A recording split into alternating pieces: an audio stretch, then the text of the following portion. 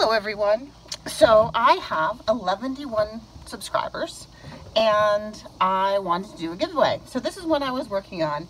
Um, this is like a traveler's notebook size journal and the image is from the Undercliff by uh, Elaine Franks. This is the book that Izzy B always uses and I got one on eBay because I loved the images.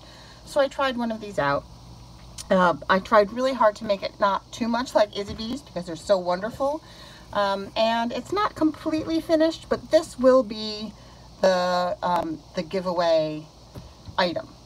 So it is a traveler's notebook sized journal and it has the image on the front. It has a sari silk closure with two of the Tim Holtz flat, um, what are these called, eyelets. And it has a sari silk um, reinforcement of the binding and a three hole pamphlet stitch on the edge. And this is a little charm with some acorns for the cute little dormouse. On the inside there is um, fabric um, on covering the inside with uh, sewn in pockets and each of those pockets has a card. This one has another Undercliff illustration with ledger paper on the back.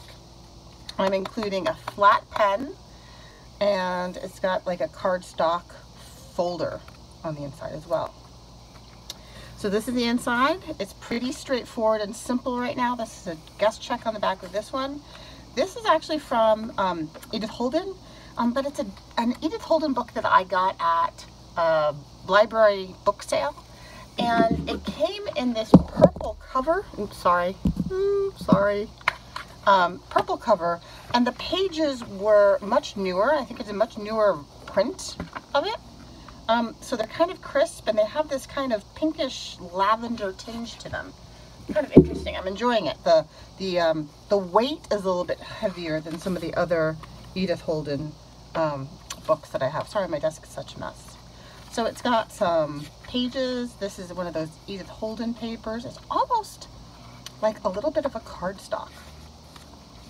Um, some more writing pages and this has some encyclopedia pages and this is just uh, Tim Holtz card. I think I'll embellish this a little bit more but I have to run out and I really wanted to get this up on um, YouTube. So here's another uh, deer mouse, grasshopper mouse encyclopedia page. Here is um, another journaling card. And this is kind of cool. This is from a National Audubon Encyclopedia and it has footprint identifications. And on the ends of the strings, I've um, I have some beads and some some charms.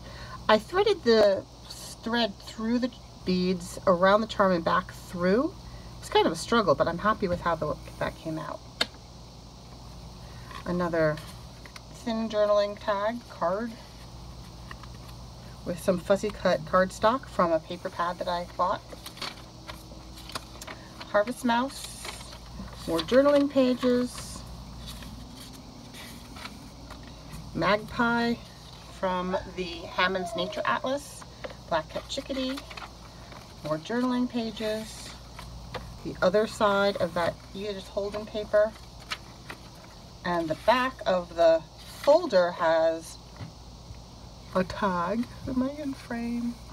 So hard. I love that image with the little barn swallows. Time of year, they're all out and about. And the back pocket has uh, another Edith Holden. So that is the back. That's another Undercliff.